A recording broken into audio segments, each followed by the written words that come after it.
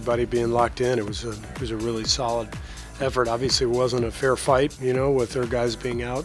And uh, you know that last two-minute stretch of the second quarter gave us some breathing room, and then the I think just reality kind of set in in terms of the uh, you know the talent disparity with their guys being out. We kind of wore them down and.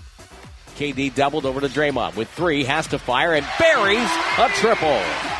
We just try to come out here and execute and get out of here safe. And um, but we know this team is going to be different down the line. So I mean, us making that many shots, I mean, we're supposed to.